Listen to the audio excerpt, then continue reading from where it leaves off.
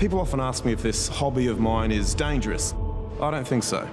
I know what I'm doing, and I'm very careful with how I go about doing it. This applies to my professional life as well.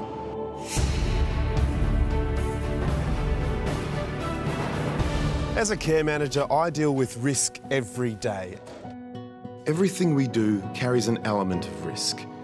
Your client's home may be the place where they feel the most comfortable, but homes can also be hazardous places.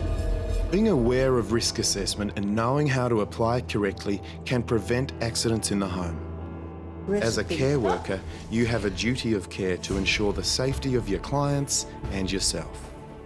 I believe with the right preparation, skill, and care, even the most risky of activities can be carried out safely. I'm learning that, like rock climbing, risk assessment is a step by step task. Risk assessment should never stop.